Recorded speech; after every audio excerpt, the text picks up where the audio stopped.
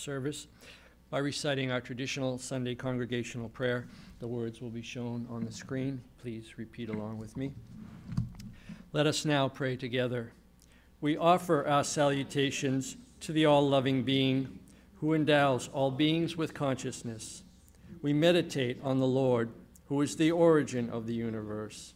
Lord, thou abidest in all, thou art all, thou assumest all forms. Thou art the origin and goal of all. Thou art the self of all. Thou art existence, knowledge, and bliss. Salutations unto thee. May the world be peaceful.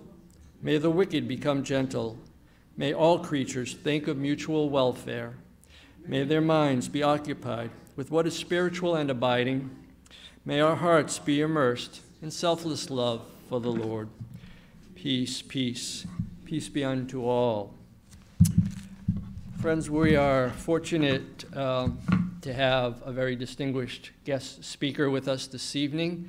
Um, I won't stand too long between you and her message, but by way of giving you some of the background, uh, she serves as the minister or pastor of the Church Beyond the Walls, which is an outdoor street church meeting every Saturday at 2 p.m. in Burnside Park, downtown Providence.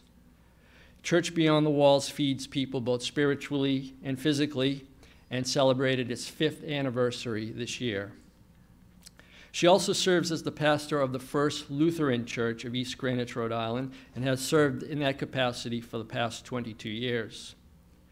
In addition, she teaches world religions and spirituality at Salve Regina University in Newport, Rhode Island, and where she has taught as the adjunct faculty for the past four years in the Department of Religious and Theological Studies. Along with the team of people from the First Lutheran Church, she founded in 2004 Oceans of Grace, Grace Spiritual Center, also located in East Greenwich, Rhode Island. She has been interested in spirituality as a young child, and in 1981 she graduated from Brown University, magna cum laude, with a Bachelor of Arts in Religious Studies. In 1985, she uh, graduated from Harvard University with a Master of Divinity with a focus on the New Testament and arts of the ministry. She was ordained in the United Church of Christ in 1986, and in 1991 she was ordained in the ELCA, the Evangelical Lutheran Church in America. She had done postgraduate studies in the field of spiritual identity and spiritual direction in Boston and in 1993 she completed a three-year program, Spirituality of Christian Leadership, at Our Lady of Peace Spiritual Center Life in Narragansett, Rhode Island. In 2009, she received her certification from Spiritual Directors International after completing a four-year program in spiritual direction through Sacred Heart University. In 2010, she received her Doctorate of Ministry degree from the Lutheran Theological Seminary in Philadelphia with a focus on spirituality. And developing Oceans of Grace Spiritual Life Center was her doctoral project. She has been receiving and giving spiritual direction for over 30 years and has led hundreds of spiritual, spirituality retreats around the country for women, men, youth, and mixed groups. She is a member of the Rhode Island Council of Churches Interfaith and is a member of the Spiritual Directors International. She is a member of the Each East Greenwich Interfaith Clergy, Clergy and a member of, presently, the Dean of the Rhode Island Lutheran Clergy.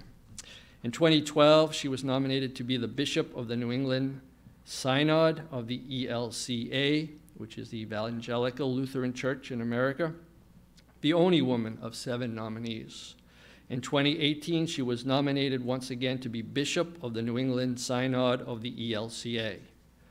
In addition to all of that, she is an avid outdoor enthusiast, living her spirituality through cycling, hiking, traveling, writing, and the arts. She is a Christian, but passionate about studying and honoring the faith traditions and focusing on honoring other faith traditions and focusing on the things which unite people of different faiths. Her vocation is to help others to open themselves to the spiritual dimension of life to grow in their relationship with God, and to be more compassionate in their relationship with others, including the rest of the cosmos. So, as we can see, she is a very well studied speaker who has devoted pretty much her entire life to some or many aspects of Christianity. The chosen topic for tonight universal values in Christianity. Please welcome to the podium Dr. Uh, Reverend Dr. Linda Forsberg.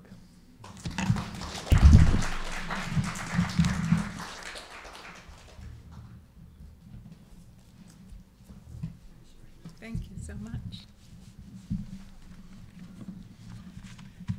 Thank you so much for your gracious hospitality. It's wonderful to be with you again. Um, I've been here a few times before for the celebration of Universal Brotherhood Day. So it's good to be back.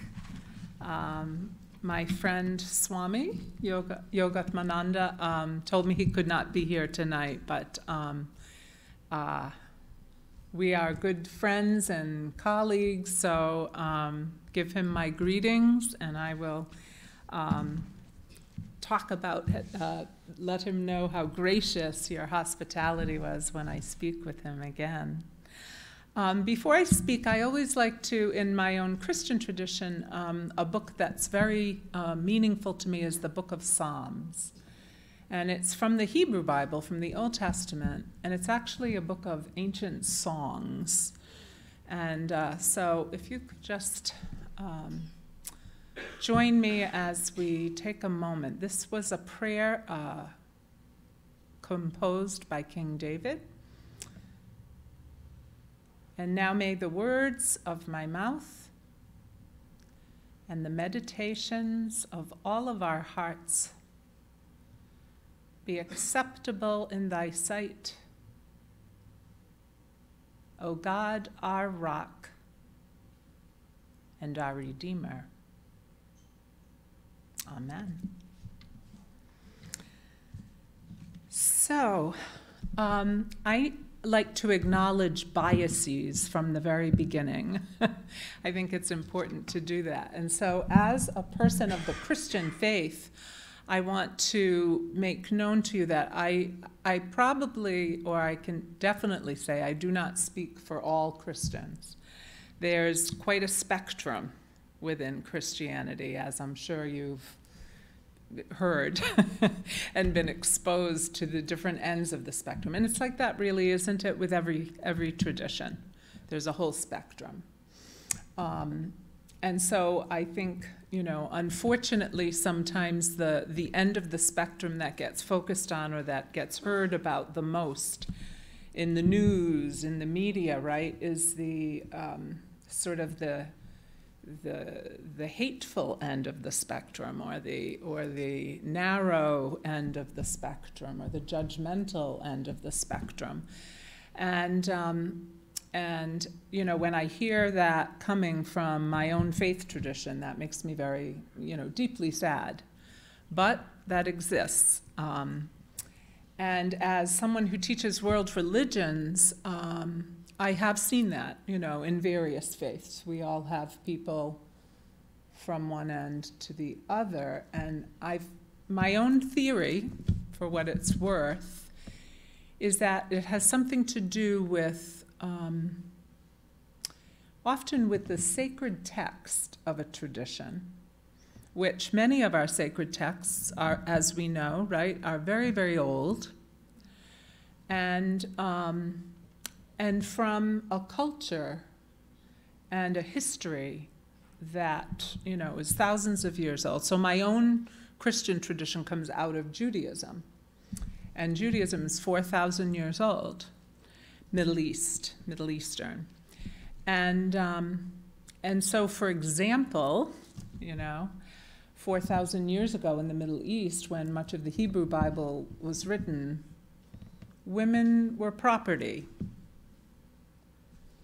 the Ten Commandments talk about women as part of, you know, a proper, property. Um, so there are people today, Christians, who still um, take those texts literally and interpret it in a literal way. And then there are others who, which I am of the, the branch of Christianity, which says, no, um, we must um, understand the original historical context of a text, right?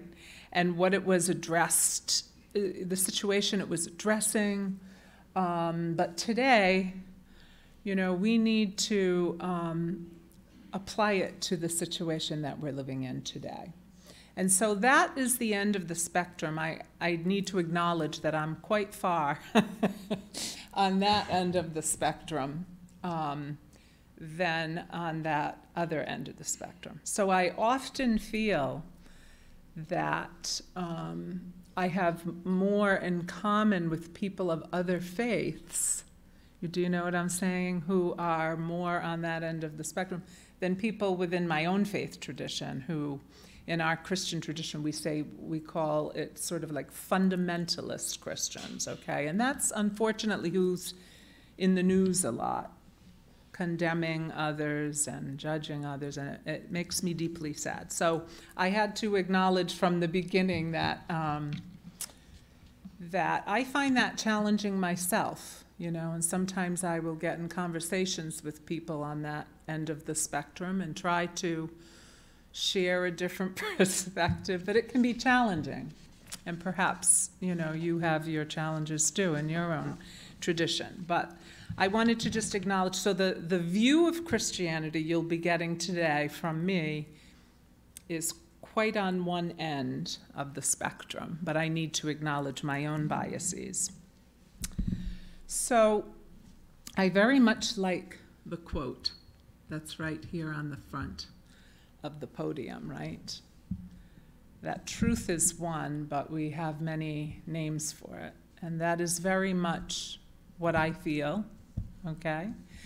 And so today we're going to focus on several different principles um, that are within my own Christian tradition, but that I do feel are universal, okay? And the first one um, is that we, there is a creator behind all creation. Um, and so that all creation, this whole earth, everything in it, reflects the divine, right? Reflects the creator, reflects what, what I call God, and that God lives in everything. And so there is a sacredness, right? All is holy, all is sacred, all is to be treated with reverence and respect. Um, I, I love Native American religion where they speak of the web of life and that all life is connected. So, what you do to one part of the web, if you harm one part of the web, you harm the whole, you harm all, right? And um, so that is one of, I think, the basic um, values of Christianity is that uh, because we believe that there is a God who created all things, um, that we are to treat all creation, right, as reflecting God's presence to us, and so to honor it and treat it with reverence and respect. And this has tremendous implications, for example, for the environment, right? I'm a big environmentalist. Um, now, on the other end of the Christian spectrum, very different, very different feeling. Um, because there's a, a feeling that the world is going to end because of its sinfulness or its evil. And so how we treat it doesn't really matter. It's about to end. Do you see what I'm saying?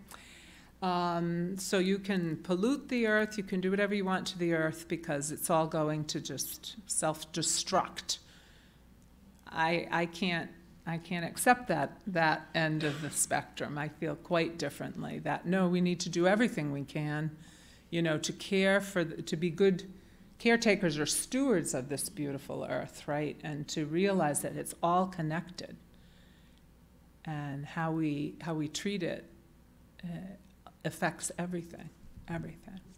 And I know that um, in my world religions class, I have my students read the Bhagavad Gita, right, which is one of your sacred texts, and um, and it's actually become one of my favorite texts too. I, I, I can't even remember how many times I've, I've read it. But that idea of all nature, all creation, right, reflecting God. There's a little quote from the Gita that I am pr- ever present to, to those who realize me in every creature. Seeing all life as my manifestation, they are never separate from me. Okay, not beautiful? So, that's the first, I think, shared value or universal value of Christianity. But then another one that's very closely connected to that is that um, that human beings are all created in the what in our Christian tradition um, we say in the imago Dei. It's this Latin phrase that means in the image of God.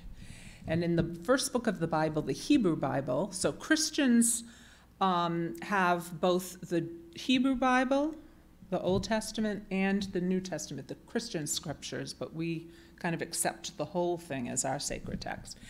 And um, so in the very first book of the Bible, it speaks about, you know, when God created everything, and it speaks about, and God created the human being in God's own image and likeness. Male and female, God created them. So um, to me, how we treat other people is of utmost importance, and we should acknowledge that, what we call that imago Dei, that image of God, that divine spark, right, in everyone we encounter. Now, that is very similar, really, to the real meaning, right, of namaste, about, you know, that the sacred, the holy in, in me acknowledges that in you. And um, at my street church, um, Church Beyond the Walls, uh, every Saturday before we go down to the park, we, we gather in Burnside Park, which is right next to Kennedy Plaza, and we have a worship service. And, um, and we celebrate a sacrament called Holy Communion. It has a table and it has bread, and we use juice. Um, and then then at the end of our formal worship, that table becomes like an actual table to serve a meal. And we, we have a meal together with the people who are gathered. And many of the people are living in, in poverty and, and homelessness. But before we go down to the park, we get together and we prepare the food. And the last thing we do before we head out is we say a prayer. And in our prayer, we pray that when we go to the park, we would have eyes and hearts and minds that would see Christ or God, right, in all we encounter. Everyone we encounter. But also that we would reflect that light, you know, reflect God's presence to all we encounter. So that that is our prayer. And truly that's kind of what I pray. I, I start every morning with prayer in my home. And before I, I walk out the door, that is what I pray, that may I see God in all I encounter, and may I reflect God to all I encounter. That's a, a beautiful way to sort of start your, your day. So that idea of God in every human being. Imagine if everyone in the world, you know, um, treated everyone that way, right? Um, now, as a Christian, um, part of the, this belief for us comes from um, so Christians have one God but in many Christian traditions, we speak about a trinity.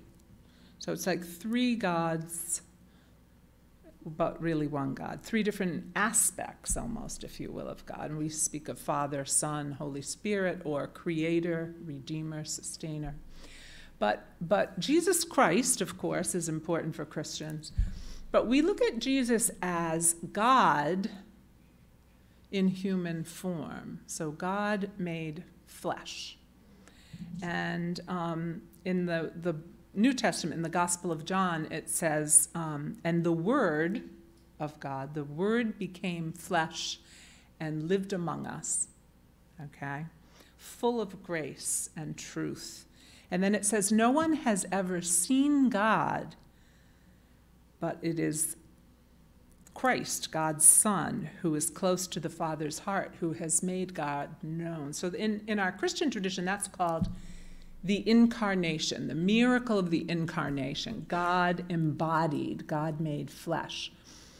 And so again, I feel like what it means, or the implications for us, right, are that if God became human, then the way we look at every human, right, needs to change. And we need to really see that, that divine nature, that divine spark in, in all people, right?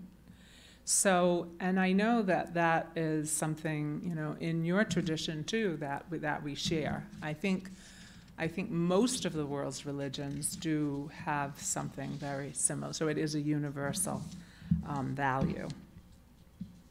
Um, another universal value um, is what we call in our Christian tradition the golden rule. What is that?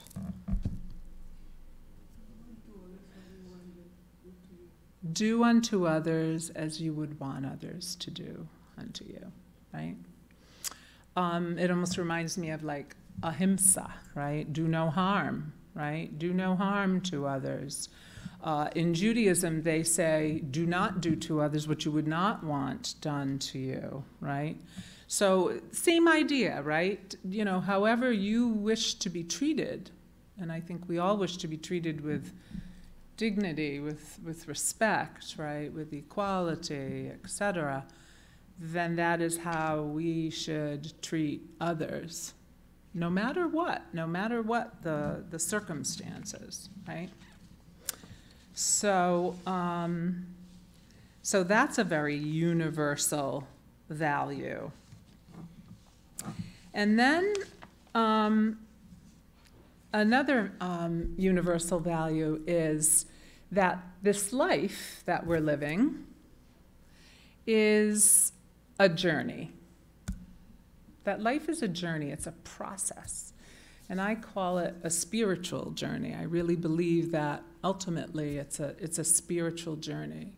And each of us, you know, we have a path, right? We are to, to walk, and part of the journey of life is to figure out, right? What is, what is your specific life path, right? I know you have that in your tradition, we do too. And, um, and sometimes, you know, for all of our lives, right, there's, there's joys, there's beauties, there's blessings, there's the wonderful things of life. There's also the struggles. Every life has those struggles and those hardships and those um, difficult things, those obstacles, if you will, that challenge us on our on our spiritual path. And so often um, I find that in every religion they speak that sometimes in our lives there's a moment of what we might call awakening, right? Or sometimes in the more conservative Christian traditions, to say conversion experience, uh, or an enlightenment right? A moment when something opens, we have an epiphany, we, we realize that, you know, we've been struggling along in life, focused on things that we realize are not of ultimate importance. And we, we open to that greater dimension of life that I call, you know, the spiritual dimension of life, right? And then we begin to see that really all life becomes spiritual, right? And right now, in my Christian tradition, we're in this season of Lent. Have you heard of Lent? Okay. Um, and Lent is a 40 day se- uh, season. And it's a season that's about repentance. And what repentance means is literally turning. It means to turn away from those things in your life that, that you know are not for your greatest good, you know, those things that are not of God, those things that are destructive or harmful, or, and to turn instead to those things that are, of God, that are of the Spirit, that are good, that are, you know, of light and life and health and all those things, right? And so in Lent, people sometimes focus more on spiritual practices like prayer or meditation or fasting or you know eliminating those things from their lives that they need to that maybe they've become too attached to right? In order to to open ourselves on a deeper in a deeper way spiritually. So this whole process of life this journey, um, when I meet people and they find out I'm a pastor, um, they always say, Well, I'd come to church, but you know, it would probably get struck by lightning. you know, or the roof would cave in. You know, they feel that there's something that they've done that's so, you know, terrible that there's no, you know, they could never, uh, they could never be accepted. There could be no possibility for them. And I, I always say, no, that to me, in all the great world's religions, right, there's that idea that there's nothing that is so um, bad that is that you have done that is so uh, reprehensible that God does not have the power to turn around and transform. And I fully believe that. Absolutely believe that with my whole being. I think that's why I'm a pastor, you know, because I have seen that complete turnaround in many, many people's lives, right? And when you see that, you see people completely turn their lives around. Um, I'm thinking of a, of a man from my street church who is about my age and, you know, spent half his life sleeping under bridges and had addiction issues, spent a good bit of his life in prison, you know. And today is one of the leaders of our community.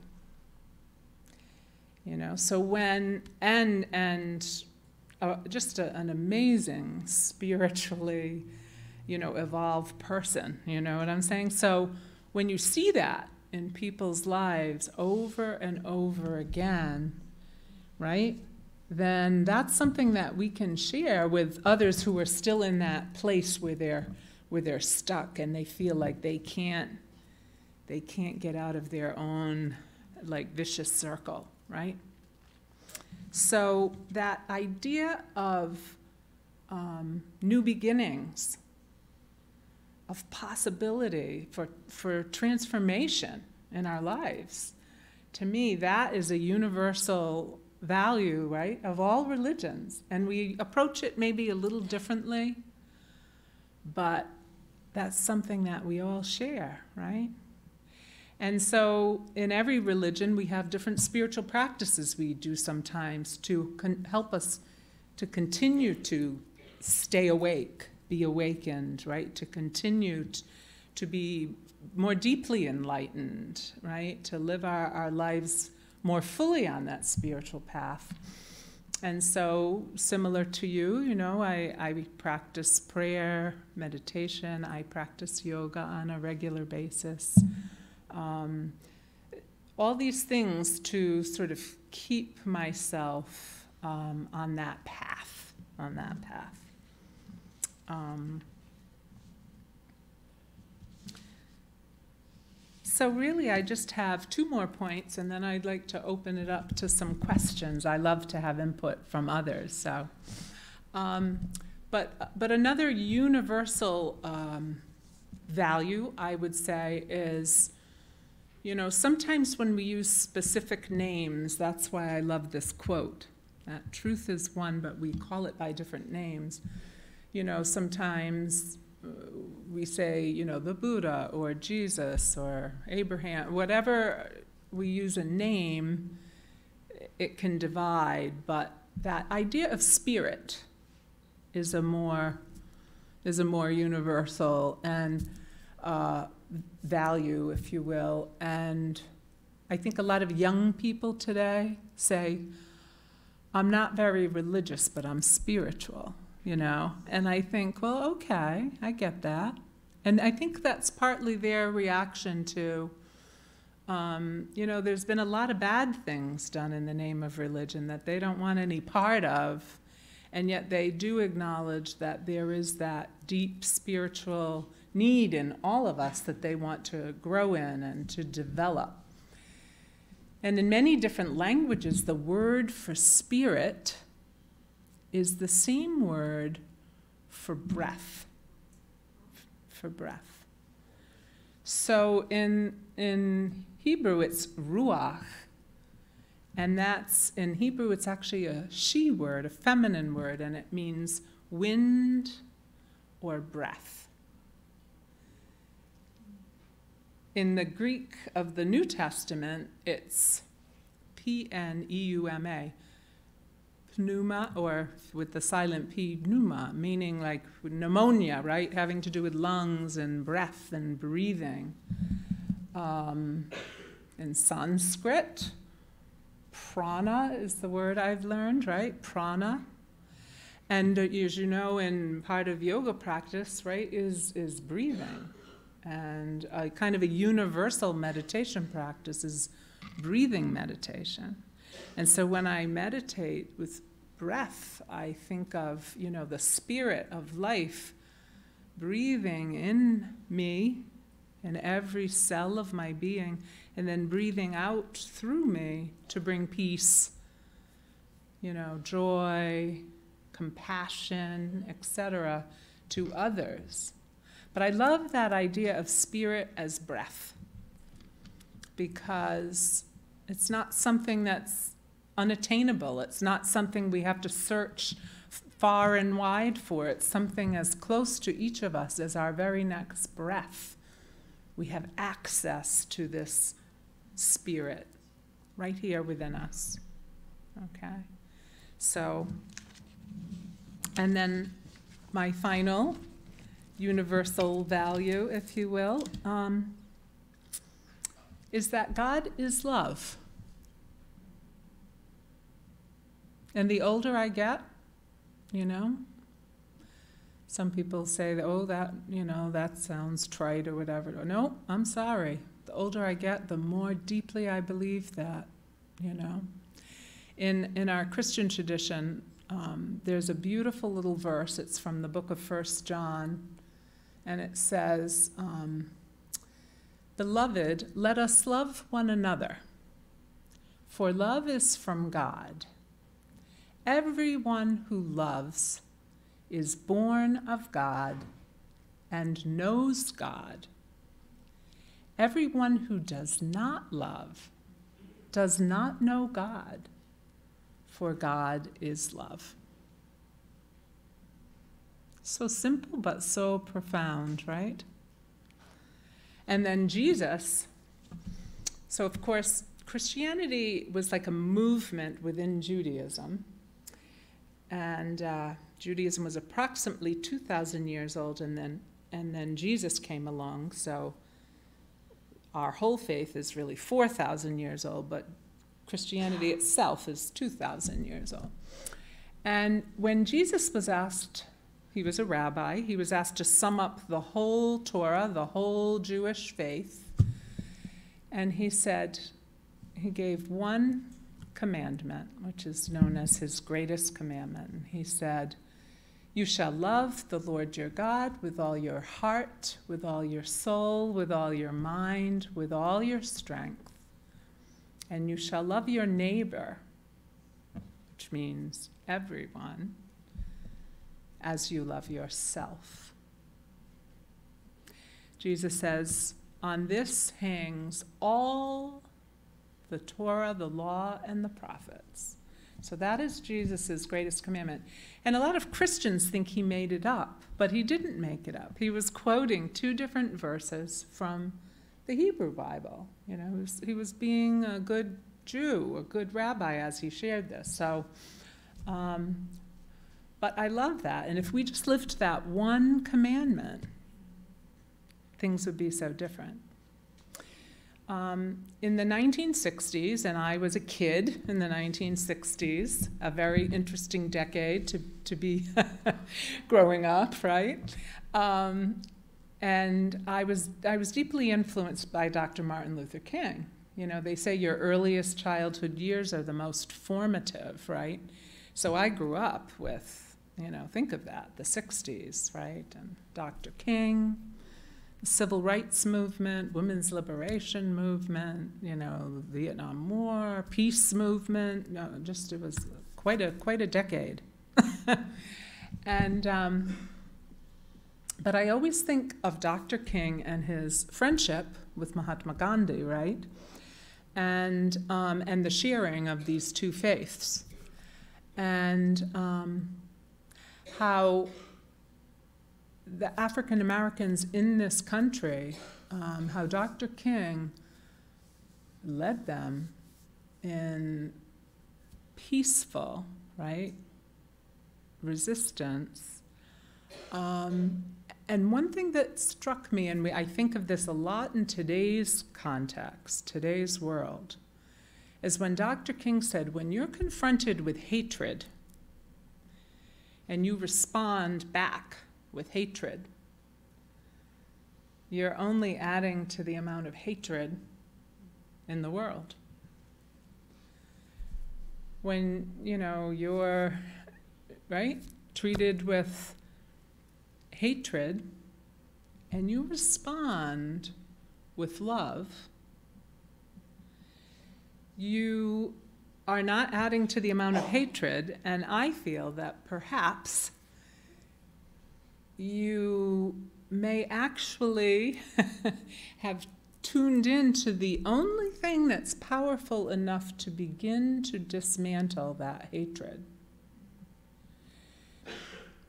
And uh, in my Christian tradition, you know, in the New Testament, there are many words for love, not just one. Like in English, we just have one. You know, I love pizza, I love my husband, I love God. It's all like one word, and it's very different kinds of love, right? But in the Greek of the New Testament, there's several different words. And the word that's used um, in Jesus' teachings about love is this there's the word agape love, and it means godlike love, Christ like love. Um, the kind of love that sees that divine in all. And that's the love that Jesus speaks of when he says, you know, we are to love the Lord our God with all our heart, soul, mind, and strength, and we are to love all others as we love ourselves.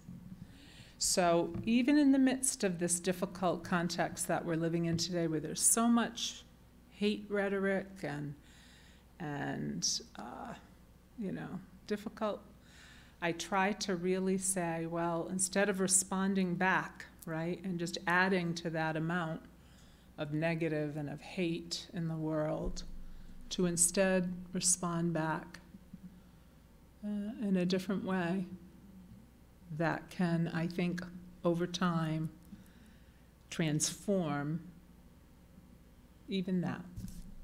So that's a beginning, and now I, I invite questions or comments. Sir? Uh, My name's John. I went to a Buddhist meditation, uh, in the, in the tradition of the Tibetan Buddhists, uh, not Dalai Lama. We were talking about compa- obstructions to compassion. Hmm. And then you, you just mentioned about, uh, people saying, um, spiritual but not religious. Uh, Do you think that, uh, religious interpretation can be an obstruction to compassion? Absolutely. I really do. This is a friend of mine, Dick. Hi, Dick. He said um, that he went to a Buddhist um, seminar or workshop, and they were talking about uh, obstacles to compassion. And he asked if that, um, if religious, what was your word? Interpretation. interpretations, and that's what I, that's what I was trying to say at the beginning. He asked if sometimes the, our religious interpretations can actually be obstructions to compassion. And that is what I was trying to acknowledge at the beginning with my own bias, because, um, you know, people who call themselves Christian, as I do, will take a quote from the, a sacred text and use it to, to cause harm and to wound and to oppress and to and to me that's an obstruction Force others to follow. right right others to follow. absolutely absolutely Thank you. I know it's a good one. Yes.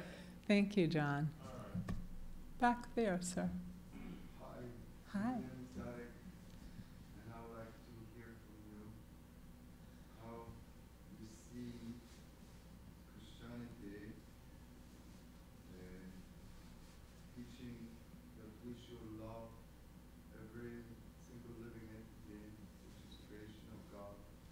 So, what is your understanding about eating animals?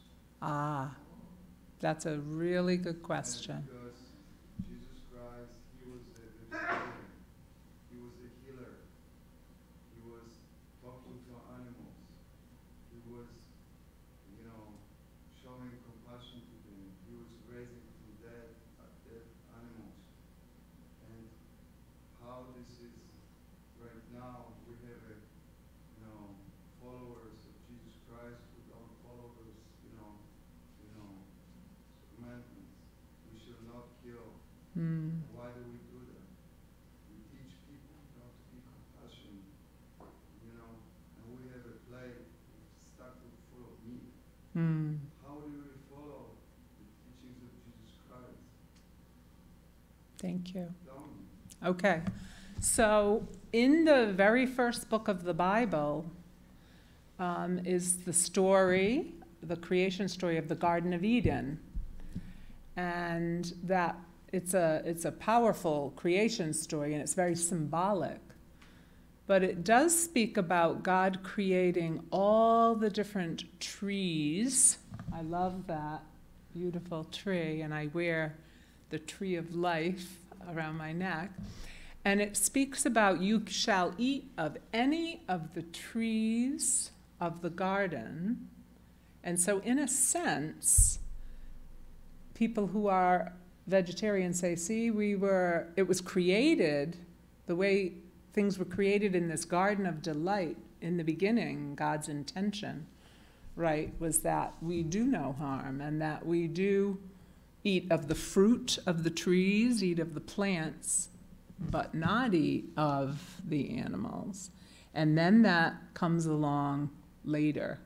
And in the Christian tradition or the, the Jewish tradition, even, um, it comes along, you know, we have this word sin, right? Of like not the not harming, harming, right?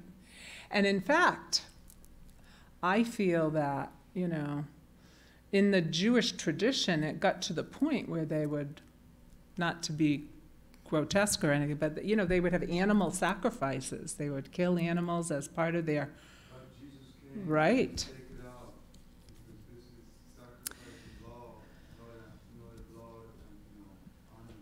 right. So Jesus came, he changed it. In the, in the book of Genesis, speaks about whatever lives on the tree, underneath the Yeah. tree, and from the ground, you should Yeah, not to harm other animals, yes. living entities. How do we do that? Well, I think a lot of people are trying to do that, you know? I think there are a lot more vegetarians today and, than there were like years ago here in the US. Um, my, I have a daughter who's vegan, you know, so she takes that very seriously. And also, she feels that when you take into your body something that has been harmed painfully, you know, that you're taking that pain and that violence, if you will, into your into your body, you know. So it's interesting because Jesus I'm not I'm, I'm, I'm pondering whether he was in fact a vegetarian because there are a couple stories where he asks for fish and he eats fish. He never said it. There was never in the scripture said that he was, he was eating fish. He was giving food to those who were starving to death. But there's never indication that he was eating any flesh. In fact, you know, he was distributing, you know, uh, bread and honey and uh, it wasn't even wine. It was uh, uh, grapefruit juice because he doesn't give wine people in such a great, you know, hot weather, you know, everybody would be drunk, you know, so it's not, the, the word of meat, you know, previously in the scriptures were meal, so somebody altered these things, you know, and, uh, so many things, you know, were changed. I'm not, I'm, it's a very interesting, you know, and I'm going to think about that. I don't, I'm thinking of Jesus being a Jew, and the Passover meal is a really important thing for Jews, and that's with a lamb. And, but interestingly, so he, his Last Supper, Bible scholars believe, was a Passover meal. But what's interesting is that Bible scholars say that because of the sacrifice he made, that he actually became, you know, we call him the Lamb of God, like he became that lamb. So that would support what you're saying. But after he rose, there's different stories, and in a couple of them, he asks his disciples to um, give him a piece of fish, and he and he, you know, so that that's the right, They, they could never eat anything else. Right. Huge fishing industry. Yes, anything. right, us choice, right. and we choose, you know, the pain over our tongue, then this is the sin. Thank This- you. That's what it's indicated also in the teachings of Jesus Christ, in the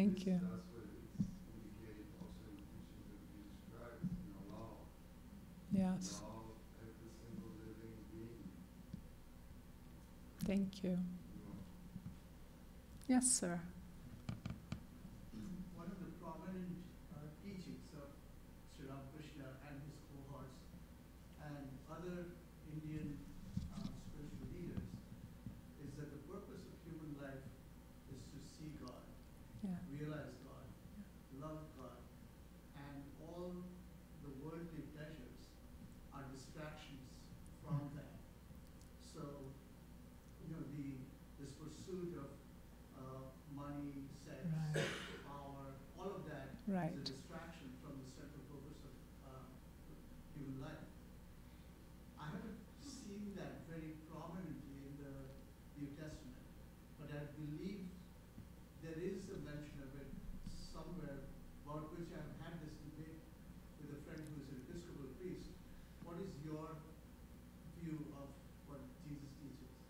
I, I actually very much agree with what you said. And um, one of my favorite passages that I actually have framed up in my um, office is from what is Jesus' most famous teaching. It's called his Sermon on the Mount. And, um, and that's where he says, Consider the lilies of the field. You know, they neither sow nor reap nor gather into barns, and yet God feeds them. And he says, You know, why, you know, why do you worry about food or clothing? You know, God will take care of you. And then the final verse, which was actually my, when I was a young girl, and you, there's like a, when you cross over from childhood to adulthood, it's your confirmation, you confirm your faith. And my verse was the final verse of that passage, which is Seek first God's kingdom and God's righteousness, and all other things will be yours as well. Meaning, like, you know, the most important thing, right, is to see God in all things, and then to the other things are much, much less important. So, and even the way Jesus lived, you know, he did not have wealth. Um, he lived humbly.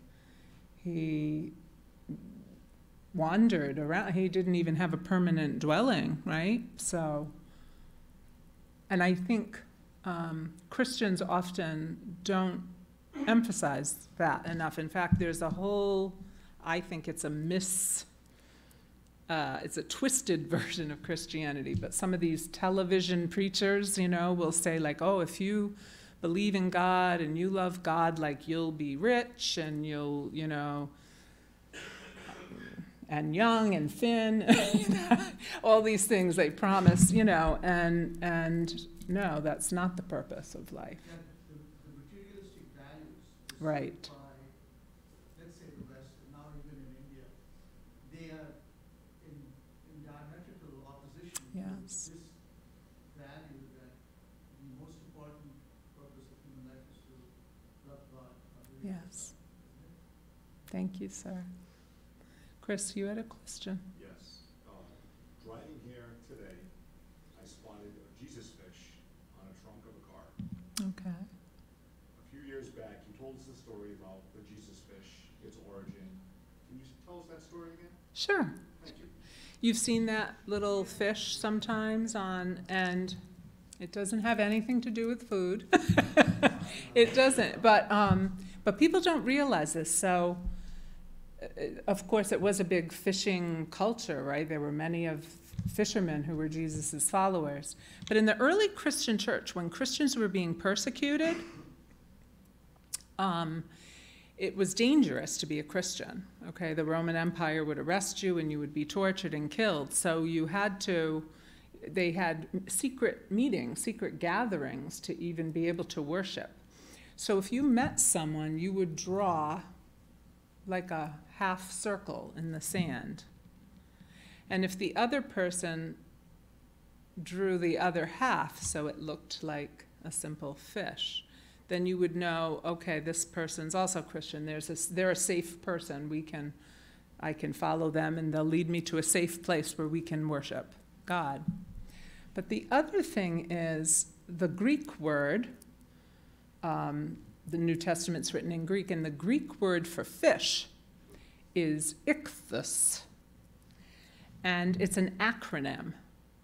And that's, this is the part most people don't know. So you, you know an acronym? Uh, uh, For those who don't, an acronym is like SCUBA stands for self-contained underwater breathing apparatus, right? So the first letter of each, okay?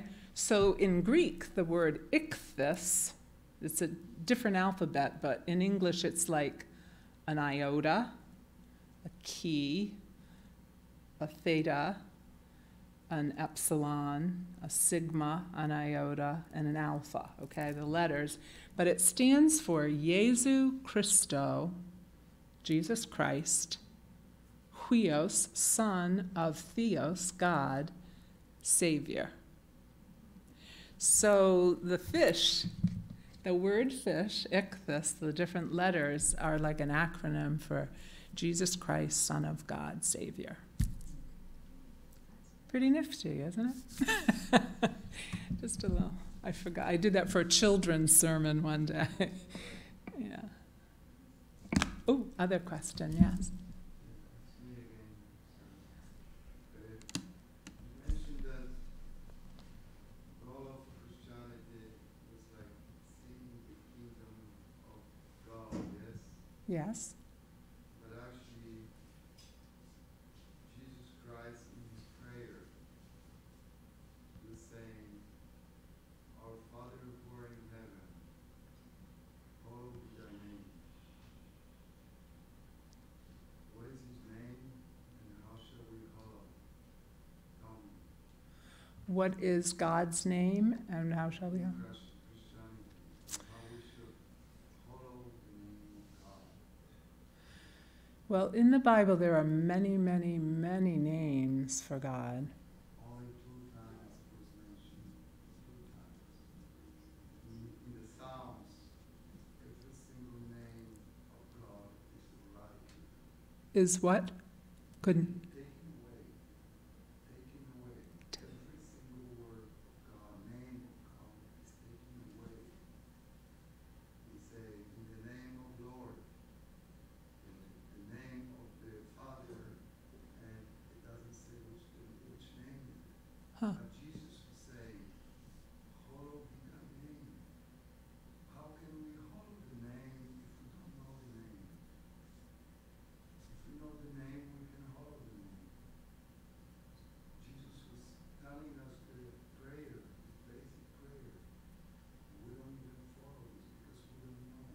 Basically, Christianity, because in the Hindu religion, the whole Hindu religion is based on the name of God and how we should hallow the name, how we should chant the name, how we should sing the name, how should Right. we write the name, how we should worship the name. But Jesus was saying, Hallowed be thy name.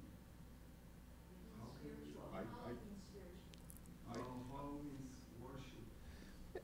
To it, hallowed means to be, to make holy, to declare as holy or sacred. But I do feel that it gets tricky because of name. Words are words, you know. Words are words are not exactly what they represent. Do you know what I mean? They're they're pointing to something that's beyond them, that's bigger than they are. So. The whole culture, Indian cu- culture is based on the name of God. mhm. And it is, every single scripture says, Bhagavad Gita also says that Krishna says, I'm coming as my name. Worship my name, you'll be with me. I'll be dancing on your tongue. I'll be with you. People don't know the name, even Jesus was recommending it. And how we can be closer to God if we don't know his, even his name? We don't know how he is. I, I think A you couple people are- God's name as any name you are comfortable with and you love. For me, God's name was my dad's name. I worshiped my dad and my mom my entire life. So for me, the word God means parent. God Okay. means the supreme person, almighty, but that's not his name. I want to honor a couple people. You've had your hand up quite a while. I learned once that, um, name, in that, in that, uh, context, means nature. Let's be, um, all hallowed be thy- hallowed be thy name, hallowed be thy nature. It's more important to know the person's or the being's nature, and to worship that, and look at the holiness in that nature, hallowed be thy name, hallowed be thy nature, the nature is blessed and holy. Thank you. And someone else had a hand up, maybe to clarify. Yes, um, I think, you know, in, in Christian faith, the word God doesn't mean a whole to any of us. That's why Christ came to us. He is that, that, that phenomenal representation of the, of the divine. Hmm. You can't, if you say, what do you mean by God? This, you can't say, you can't give any understanding what it means. What about the Christ? I worship Christ's name. I hold Christ dearly. That's how I put my God. That's why in, in, um, uh, in, in uh, Eastern faith, you have Bhakti Yoga, because Jnana Yoga is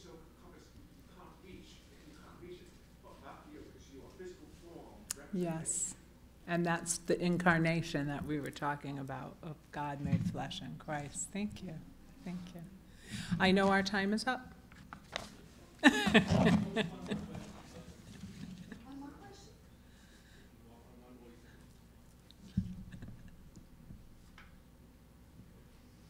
Did you have one?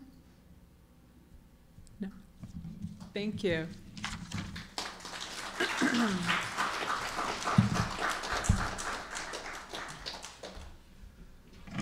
Thank you, Reverend Forsberg, for a very thought-provoking talk on the various aspects of Christianity and how the values are universal between Vedanta and that. I'm also reminded, just to kind of close out the discussion on two aspects, um, when you talk about the name, there's also Shankara, who is the uh, philosophical version of uh, Hinduism, the, the Advaita Vedanta. And many people say, Forgive me, Lord, because I locate you in a certain place, or I give a name to your unnameable aspects. So when we talk about the name of God, yes, we can pursue a different aspect. That particular name is usually given by the teacher in the form of a mantra. My understanding is probably Jesus had a similar system where his immediate disciples had slightly different teachings than the masses. And they say that, they say, I speak to the masses in parables because they hear but they do not understand. So obviously, this discussion could go on for much more time, but we invite um, Reverend Forsberg again and again, and we can continue this. You also have the opportunity to continue it, of course, at Soup Supper downstairs, which you're all invited to. Um, and we will have a, a receiving line per our tradition at the end of the arati. You'll stand down by that window there, and people can come by. And you can take a short question or two, but we got to be careful that an entire entire debate doesn't doesn't break out over in the corner there, or we'll never um, finish the program tonight. Um, we have some announcements coming up. Um, next Sunday, the talk will be given by Swami Ishatmananda from the Vedanta Society of Chicago, who will be visiting. His talk is Sri Rama, the best among men, and that will be at 5 p.m. Swami Yogatmananda will be back, so the Tuesday and Friday classes will go on as usual. The current text for Tuesday is Sri Ramakrishna and his Divine Play, and the Friday text is Svetashvatara Upanishads. Prior to that is meditation and arati. Uh, the morning programs, starting at 5:45, go on as usual, and you're invited for all of these different programs. Um, the schedule for April is um, out in hard copy as well as available from the website, so you can check into that. Yeah, I'll get there, Charlie. Um, there is yoga classes on Tuesday evening at 5:30 to 6:30, um, and you can check with Roshni Darnell if you're interested in pursuing that. There is the um, Medi- uh, the um, retreat coming up, that's in May, May 11th, that's given by Swami Atmanyana, uh, of the Greater uh, Society of um, Washington DC. That's a full-day program, starting at uh, 9:30 and going to 7 PM. Um, You can register online. If you register before April 28th, you get the discounted rate of $20. Other than that, the price will go up to full um, price of $30. Um, And Sunday, April 28th, coming up, there is a fusion band concert, um, Western and Indian classical music, and that begins at 6:15 after the lecture. So with that, we'll do the closing prayer. May the divine, who is Father in heaven of the Christians, Holy One of the Jewish faith, Allah of the Muslims, Buddha of the Buddhists, Tao of the Taoists, Great Spirit of the Native Americans, Ahura Mazda of the Zoroastrians, and Brahman of the Hindus, lead us from the unreal to the real, from darkness to light, from death to immortality. May the all loving being manifest unto us and grant us abiding and understanding and all consuming divine love. Peace, peace, peace be unto all.